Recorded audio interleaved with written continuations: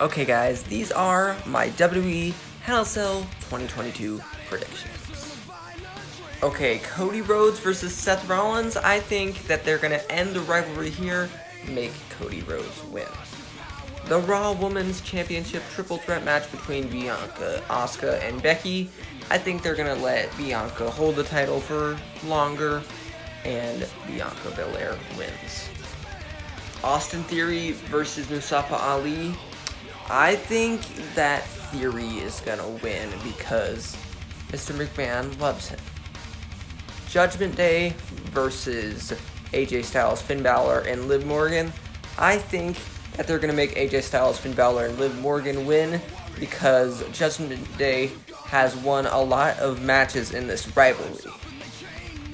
Bobby Lashley versus Omos and MVP.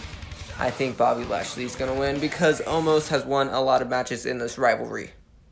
Ezekiel versus Kevin Owens. I think that they're going to make Ezekiel win because Kevin Owens thinks he's Elias, which he is Elias, but I think that Ezekiel is going to win.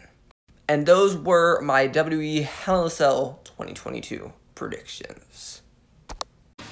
I just found out that Madcap Moss and Happy Corbin are fighting at Hell in a Cell, so it is not the only Raw match pay per view. Pretty sure Madcap Moss versus Happy Corbin is the only SmackDown match, but I think that Madcap Moss is going to win because WWE likes Madcap Moss.